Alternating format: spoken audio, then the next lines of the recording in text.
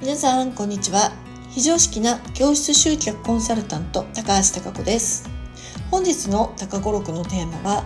与えたことは忘れるということについてお伝えしていきたいと思います。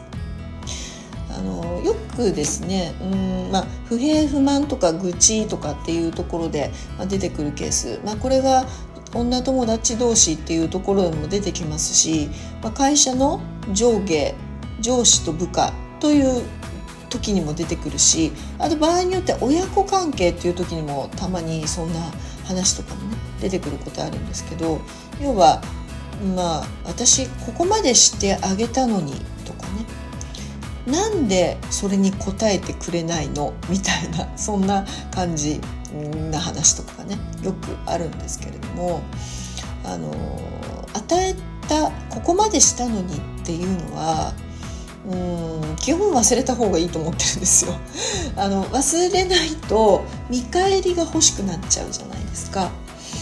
だからまあうん恋人同士のねお話とかでも例えば、まあ微妙な話ですけど、まあ、誕生日プレゼントっていうじゃあお題にしましょうか。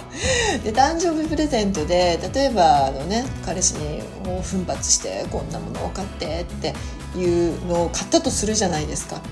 それがまあお金でね測れるようなタイプのものを買った時にじゃあ今度自分の誕生日まあじゃあそうですね3万円のものを買ったとしましょう。仮にね。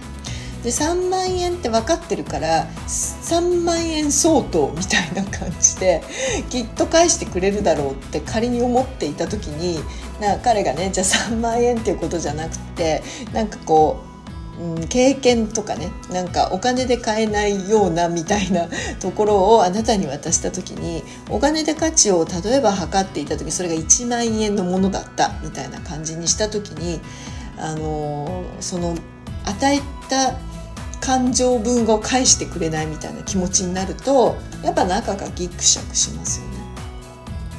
まあ、それ以外にも、まあ、小さなことです。これをしてあげたのにとかしてくれないとかねそれ子はやっぱりね期待値を持ってるとその通り動かないことに対して不満とストレスが溜まっていくんですよ。であのまあこれね一応私も50年生きてるんであのいろんなねシーンを経験してる時に、まあ、分かってきたことはですねあの自分が感じているほど同じ感情で相手は感じていないということも多いんです。まあ、夫婦関係とか実は多いかもしれないですね。自分は気を使ってここまでしてあげたのに例えば旦那はここをしてくれないとかね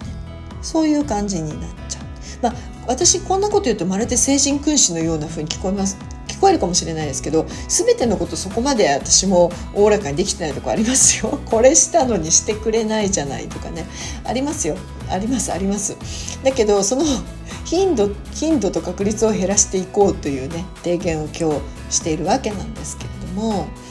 うんだからね忘れるようにしといた方がいいですね。してあげたのに的な気持ちは。でそうすると思いがけずしてくれた時に嬉しいっていうだけで済むじゃないですか。だから覚えてると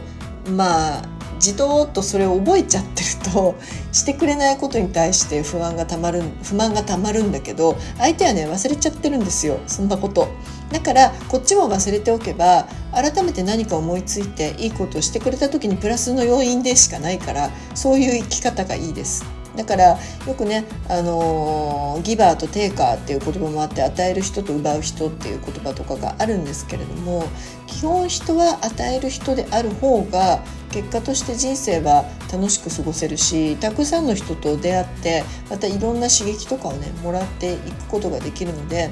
欲しがる人奪いに来る人は逆にそういう人からは敬遠されるようになるので。自分が自ら与える人になった方がいいです。でかつ忘れる。これ一番最高かなっていうふうに思っていてあの私自身もそこのまでね無我の境地までいけてないので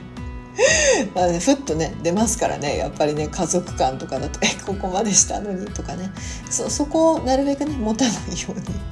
生きていきたいなというあの自戒を込めた本日のお話でございました。それでは